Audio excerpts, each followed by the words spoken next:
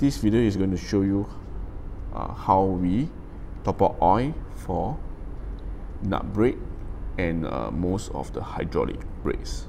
The, the kit we're going to use is this brand, Top Prick, okay. And uh, the, the tools only you use only have uh, four items from the two kits. Only the stringer, uh, the valve, there's two valve and one tool kit that we're going to use for this video and the oil we're going to use is for using Shimano, uh, Magura and Toco uh, mineral oil. Okay?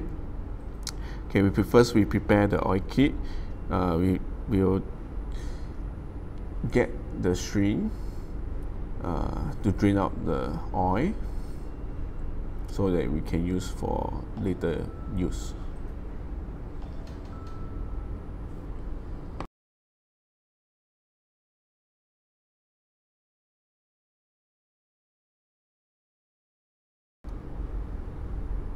okay the second part we're going to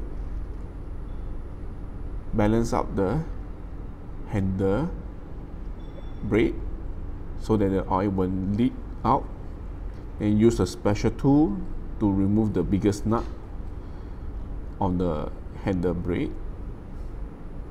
Okay like it show. Okay this is should be anti-theft uh, nuts.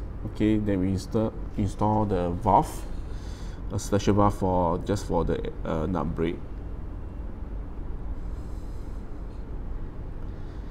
okay make sure it's tight. Okay then uh, we'll top out the hydraulic oil. Okay Min mineral oil.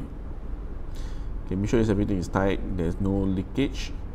Okay so uh, you press your handlebars now you see actually it's uh, soft. There's no much uh, oil inside.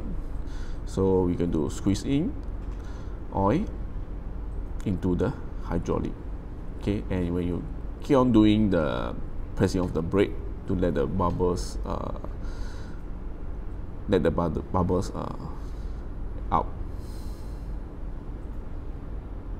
Okay you see there's a lot keep doing this until the brake is really uh, at a firm con condition okay? Which we which is your like liking okay? And you can see there's a lot of bubbles there. Okay until it's good enough okay there's no more air uh, in the the valve okay? Then remove the valve and you're done. This is the most easiest uh, way to top up uh, uh, the mineral oil to your hydraulic brakes